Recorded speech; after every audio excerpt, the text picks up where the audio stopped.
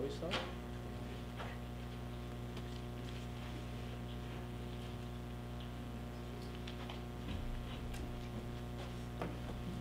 So hi, um, this is our project. Uh, don't worry about the uh, the jargons in the title. We'll expand them later. And that thing is not the thing you know. Let's go on to the next slide.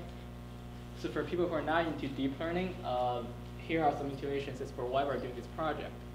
So first, what is deep learning and why we're using it? Uh, it's basically the same uh, artificial neural network, but it's bigger and deeper. And now it's able to represent much more complex features and concepts. But one major problem during the 90s was that the um, backpropagation, the main technique used to train such a network, often gets stuck in local minimum. And turn out the deeper you go, the worse you get. But now we know unsupervised learning techniques such as restricted Boltzmann machine or RBM there uh, can help solve this problem by giving you a better initialization point.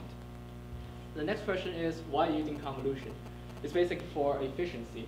Just like human eyes has uh, local receptive field, our network has locally connected neurons, basic kernels. Therefore, we have the convolution neural network, or CNN. Our work is in uh, developing techniques to combine the convolutional neural network, uh, convolutional RBM with the uh, CNN so that it gets much better results. Next slide. And this slide shows a demonstration of our system.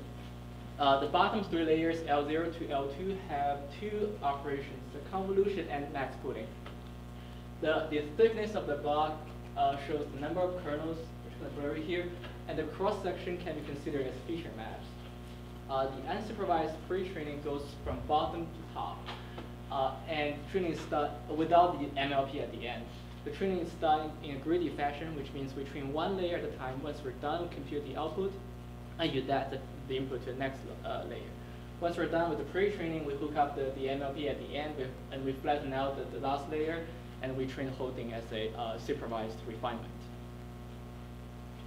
Um, so in, in, uh, in, in, general, we need to do max pooling after doing convolution in CNN because a good mask can make the output become sparse. However, the problem here is that the output of RBM does not need to be sparse. So we need a new, new technique so that the output would be, have, has at most one uh, largest response. So instead of adding a sparse penalty, we use a new technique called probabilistic max pooling. We map, we map the old, uh, the old probability, which is the output of RBM, to a new probability. And the mapping is a little bit like comparing the, the, uh, the value in each, in each uh, node to the, uh, to the softmax of, all, of the whole block. So after getting the, uh, this new probability, we do sampling based on that and get copies of, uh, of binary outputs and then do traditional max pooling based on this uh, based on these uh, copies. And here are some results. Uh, in table one, the top row, uh, the table one is for the MNIST data set, which is our handwritten digits. Uh, the first row is our naive implementation of the CNN or Net5 without any unsupervised learning. And the second row is the, uh, the paper where the CRBM was proposed, but the author did not use any uh, supervised uh, fine tuning. So the final results classifier was using SVM and the, the weights are not changed at all. And the bottom is our uh, results, which better, slightly better than everything else.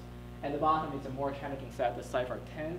Uh, the second row uh, is the right now the best performing standalone convolutional neural net, uh, and our result is slightly better than the uh, uh, another pooling method.